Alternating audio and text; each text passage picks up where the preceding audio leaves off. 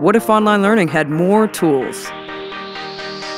Like a computer, an interface, software, a video camera, and creative tools like a microphone and keyboard controller, then I'd say you are in the right place. I'm instructor Monica Sepulveda, and I know you're going to love the online audio video production program at Laurus College. Online learning you can touch.